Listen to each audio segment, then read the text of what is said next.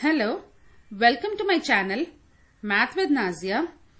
In this video, I am going to explain you a very important identity which is x plus a times x plus b equals x square plus a plus bx plus ab.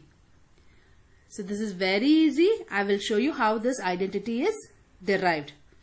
So let me take the left hand side which is x plus a in one bracket another bracket it is x plus b.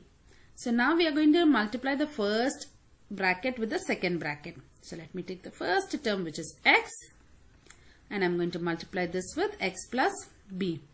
Now I'm going to multiply a with x plus b. Now let's multiply x times x is x square plus x times b is bx plus a times x is ax plus a times b is ab. So now when you look at this carefully, the middle two terms have common x. So let me take out that common. So this x square will remain same and this I will put it inside bracket. I'll take the x outside common. So here we have b plus a remaining. So instead of b plus a, I can also write it as a plus b plus ab. So here is our derivative for this identity. So x plus a times x plus b equal x square plus a plus bx plus ab. So here is our derivative.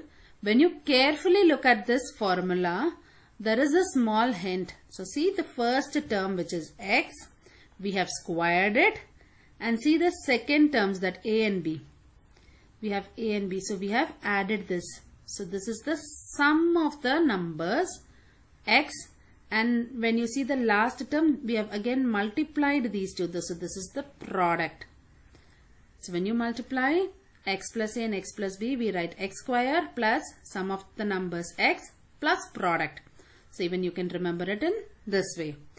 It's very easy to remember. Now we have a lot more formulas with x minus a, x minus b and x plus a, x minus b. We have four formulas with this. Instead of remembering all the four formulas, it is better to remember only one formula. This one formula will, will be enough. If in case if you have a question like x plus a and x minus b.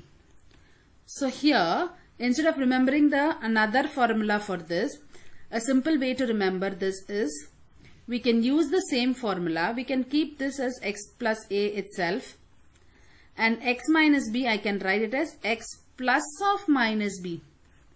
So you will take the term b as negative b here. So let me substitute and explain you. So it is x square. I will write the x square first. Then a plus b. So I have here a plus of minus b. x plus a times b. So I can write this as a times negative b. So here my formula would be x square plus of a minus b x minus ab. So this is actually the formula for x plus a and x minus b. So instead of remembering this formula, you can just remember the first formula which we have learned, which is very easy to remember. So you just remember this first formula and just put the numbers which comes in negative as the negative positive of the negative number. So which will be very easy. You need not remember the second formula again. Similarly, if you have x minus a and x minus b. So here also you can write it as x plus of minus a and x plus of minus b. And now we can apply our original formula which we have at the top x square plus minus a plus of minus b x plus negative a times negative b. So here our answer would be x square. I'll take the minus common outside. So here it will be a plus b x. Then here minus times minus will become plus plus ab. So now we have the third formula. So this was the first formula. This is our second formula. And this is our third formula. So instead of remembering three different formulas, it's better to remember one formula. So from this you can derive all the other formulas. So remember this formula and apply the minus negative terms as a minus term here. So this will be pretty easy. So if you have any queries regarding this identity, please comment down in the comment section. And for more tips and tricks, do like and subscribe to my channel. Thank you.